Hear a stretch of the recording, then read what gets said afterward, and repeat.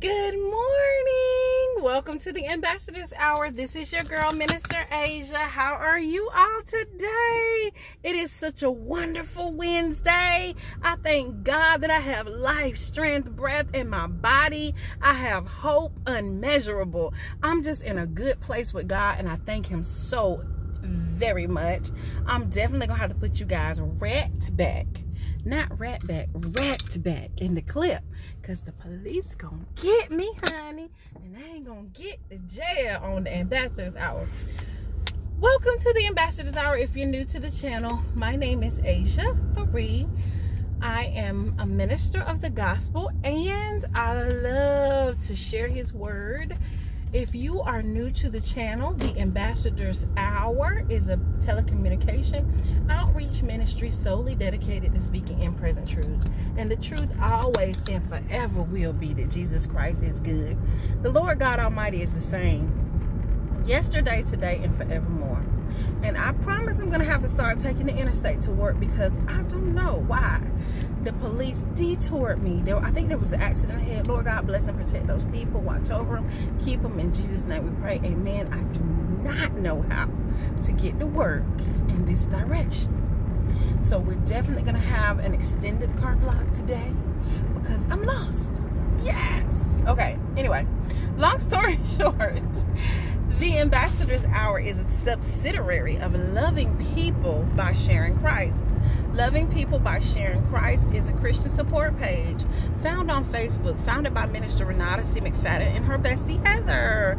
On Loving People by Sharing Christ, you can find memes, gifs, and other graphical depictions of the undying love of Jesus Christ.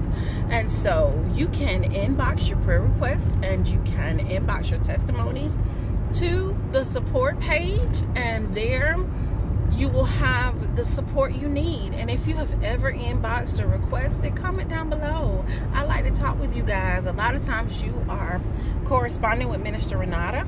She's my sister and she's so wonderful. But you can always um, email me inbox us. We have a facebook page as well ambassadors hour and we have an Instagram Ambassadors Hour.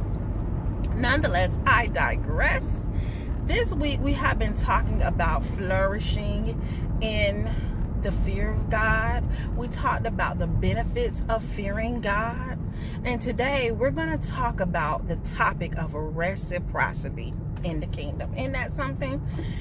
Um, reciprocity. If you don't know what reciprocity is, let me just go all the way back and then come forward, okay? In any natural or carnal relationship that you have, you're going to look for a mutually beneficial, synergistic relationship that's cohesive, that flows, that's wonderful. You're going to look for a relationship that edifies you, that you reap as much as you sow into that relationship or you yield kindred benefits that you have deposited and or you know given into that relationship and so let me tell you in the kingdom of god there's no difference and the reason why he has me focused and fixated upon fearing him because fear is none other than respect reverential respect and honor of God. The Word of God tells us that we should honor Him with all of our substance.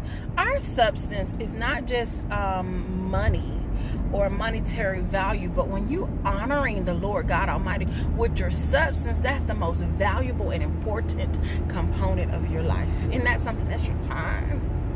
That is the gift that he has deposited on the inside of you. You know that your gift makes room for you and brings you before great men. But when you're honoring god with all of your substance and you are seeking him and you are giving him your time your talent and your treasures that is showing reverential respect which is founded by and stands upon wisdom because the fear of the Lord is the beginning of wisdom and wisdom is the principal thing. And wisdom has so many benefits and yields so many properties that we will talk about in the future but today we're talking about reciprocity now let's take this to a natural um, aspect the natural aspect of reciprocity is this.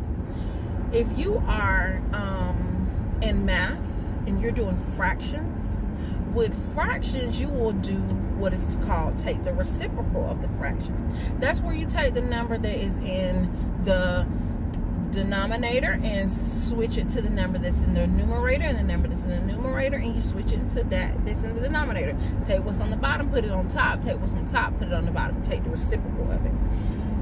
That is how it goes in marriage, in any relationship. Whatever the husband has to give the wife has to give back. Whatever your partner gives you, you have to give them back. And that's what helps the relationship to flourish and to grow and to live and to thrive and to be very healthy. And so when we're in the kingdom of God, when we fear him and we're looking for our lives to flourish we want our ministries to grow. We want our families to be healthy. We want the resources and the um, income and the houses and the material things.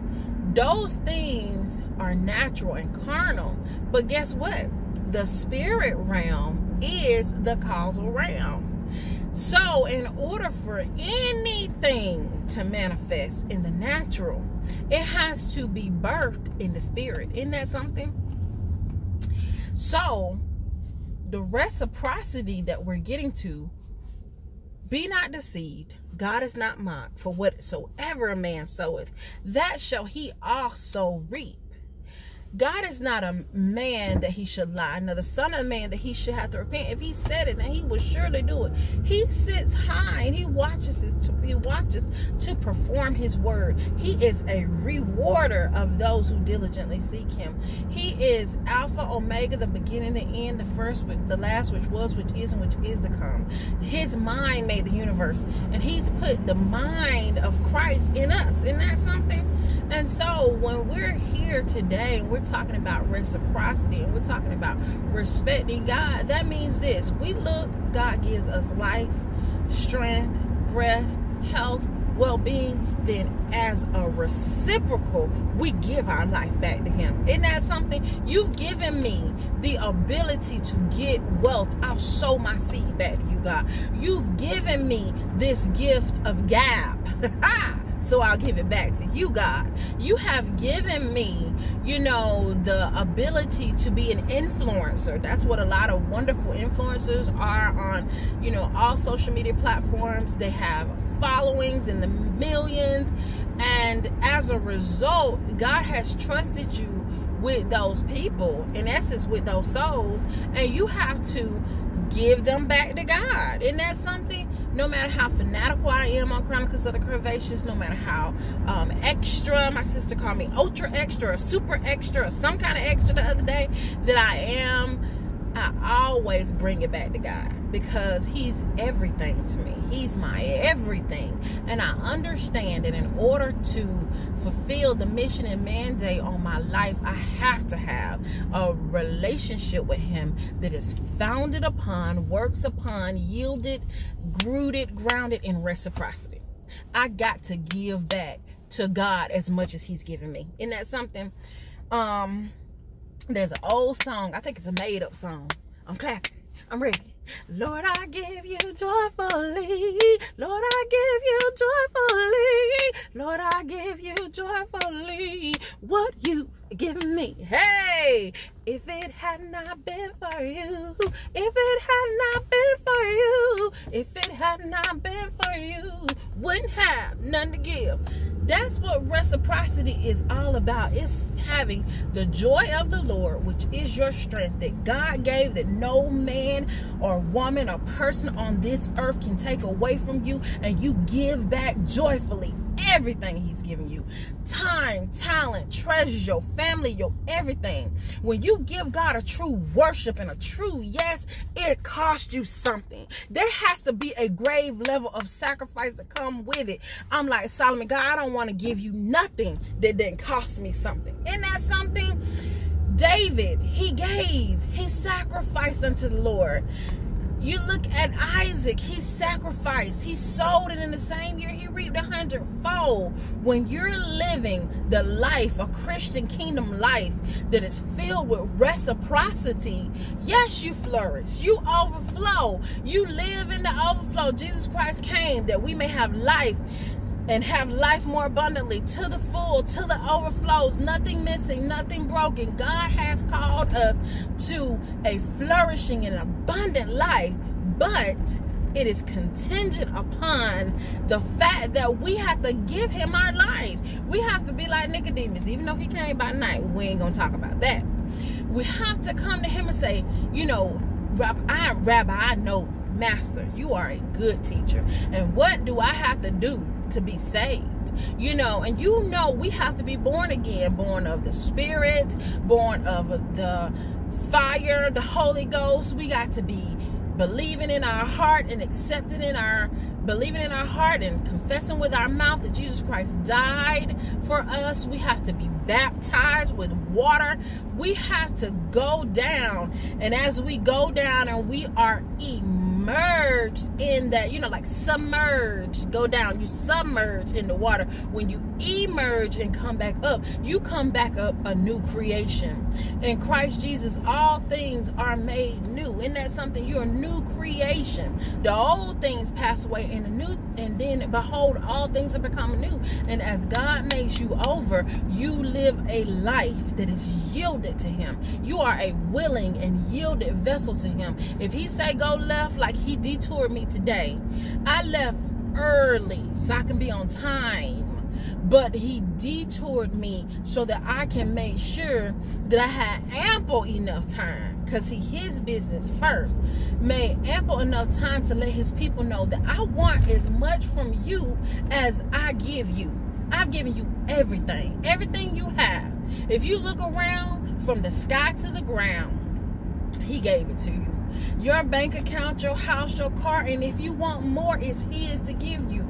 Our Lord God owns a cattle on a thousand hills. Hills. The silver is His, the gold is His, and He will shake heaven and earth, and the desires of the nations shall surely come. But He requires something of you. It's gonna cost you your life. Except you give up house, car, mother, father, land, you cannot inherit the kingdom of God does that mean that you have to physically do like the church in the book of Acts and take your Mercedes? I'm looking at a Mercedes Jeep in front of me.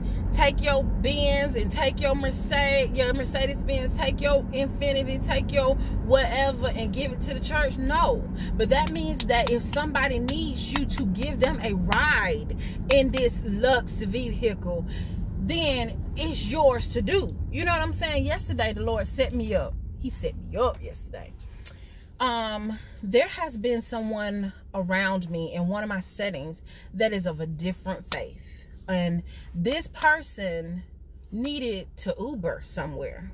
And i was like you're gonna Lyft? You're gonna take a Lyft? You're gonna take an uber? I'll, take you home. And when i took that person home hijab and all I was able to minister the gospel to them, tears flowing down their cheeks. I have never experienced the love of God and the power of God in this Camry like I did yesterday. Isn't that something? He set me up. And he let me know, and I'm about to cry. I'm a, I ain't gonna cry this time. I ain't gonna cry. I'm, I'm a big girl. I ain't gonna cry. Big girls, they don't cry they don't cry. Anyway, I love you guys. You're tuned into the Ambassadors Hour with Minister Asia P. Searcy. I love the Lord and I love to laugh. Okay? Get with it. So, um, I never ever felt him in the capacity that I felt him yesterday. And I know that nothing happens by chance. And he orders and directs our steps, even if I gotta twist through a McDonald parking lot to find my way to work and then yield through this Waffle House and go this way because I know this way takes me to work. You know what I'm saying? I just came from somewhere, but I don't know where. But I know that this direction is where I need to go, okay? But um, I digress. Lord bless the people on Highway 41. and watch over them and protect them that caused this detour this morning. Anyway, Lord, I love you, God, with all my heart, with all my mind, with all my soul, with the breath, the Ruach creative breath, the Zoe God kind of life that you deposited in me, God, before the foundation of the earth. You trusted me with your people, God. You trusted me. You put me in this body. You put me in this life. You gave me this personality. You gave me this heart so I can love your people, God. And I know, Lord God, that it is a season where people are called to reciprocity, that we have to give back to you, give back to you everything that you have given us. We have to fear you. And we have to work out our soul salvation with fear and trembling. We have to present our bodies a living sacrifice, holy and acceptable unto you, God, which is our reasonable service. We decree and declare today, Lord God, that we repent for every time we did not have a reciprocity relationship with you, where we were givers, givers, givers. God, give me. God, bless me. God, heal me. God, do. And God, do that. And today, God, we come to you, Jesus, humble, yielded, and bold in you, God, saying we want to do a new thing, God. We want you, Lord God, to use us, Lord God. If you can use anything, God, you can use us, God. We decree and declare this day that we are willing vessels, God Search our hearts, search our souls, creating us a clean heart, renewing us a righteous spirit, Lord God, that we may not sin against you, Lord. Give us an anointing, a fresh anointing, Lord God, a power, a drive, and a zeal that will remove every burden, that will destroy every yoke, that will shake the pits of hell, that will destroy the kingdom of darkness, that will bring down every stronghold, Lord God, that will uproot people, Lord God, from all things that are counter you. We believe, Lord God, in this hour and in this season, you are calling us to reciprocity, God. You're calling us to sow, Lord God. To give and it shall be given unto us. To reap what we sow, Lord God. To give of all of our substance and to honor you with all of our substance, Lord God. And so today, Lord God, we come on this platform and we pray for the person that is watching this video, Lord God. We don't know who they are, Lord God. We don't know their religious background. We don't know their sexual orientation, their gender. We don't know anything about them, but we know that they need you, Jesus. They need you, Lord God. They may be a seasoned saint, they may be a new believer, or they may be an atheist, Lord God, but they need you, Jesus. They need you, God. They need you to speak to them at night, Lord God, when their pillow is filled with tears, Lord God. They need you to speak to them, Lord God, when their body is wrecking with pain. They need you, Lord God, when they have so many voices in their mind, they can't decipher, Lord God, what to do and where to go, Lord God. They need you, Holy Spirit, to be their comforter, to be their guide, to be their teacher, to be their inner witness, to help them, Lord God. Holy Spirit, you are the helper and you're the advocate for them. And they need you, Lord God, like never before. I thank you, Lord God, for this day. I thank you for the detour, Lord God. I thank you for an opportunity, Lord God, to come before the throne of grace just one more time, Lord God. I thank you for the opportunity to share the gospel one more time, Lord God. I heard your voice this morning, Lord God, and you said gossip and gospel sound very alike, but they're nothing alike. And you said, I want my people to spread the gospel and not gossip. And I heard you, God, and I will do what you said do. I thank you in advance, God. And as I pull up to my destination, I ask that you bless these your ambassadors for whatever they stand in need of. In Jesus' name we pray. Amen. And if you don't know him, as your Lord and Savior, I suggest that you get to know him. If you don't know how, please read Romans chapter 10, verses 9 through 10. Believe in your heart and confess with your mouth that Jesus Christ died on the cross for you and God raised him from the dead, and that makes you saved. Get connected in a Bible believing church with a good shepherd that's following Christ, and you follow him as he follows Christ. Go over to Loving People by Sharing Christ, the Christian support page, founded by Minister Renata C. McFatten and her bestie Heather. Go and inbox your, your prayer requests, your testimonies, everything, all of it. We love you. Bye.